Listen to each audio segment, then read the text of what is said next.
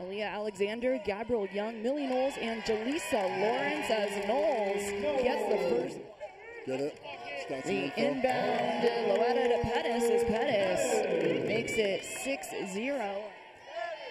Alexander Knowles with the screen, and Alexander knocks it down as the first quarter comes tied for 13th in the NCAA in turnovers.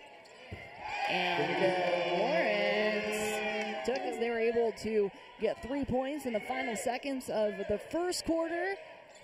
Five seconds. Alexander with the shot, and she does it. Loera coming down with the board.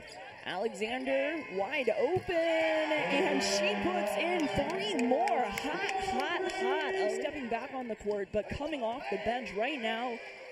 She's trying to prove that she can affect the game in so many ways. Create shots, make shots. Like and make shots. Right she drops down a three, and that was a team F Physical left on the shot clock as Loera inbounds to Buckley. Buckley making the shot with an arm. Forcing players that aren't necessarily most comfortable in that role to go hunt shots.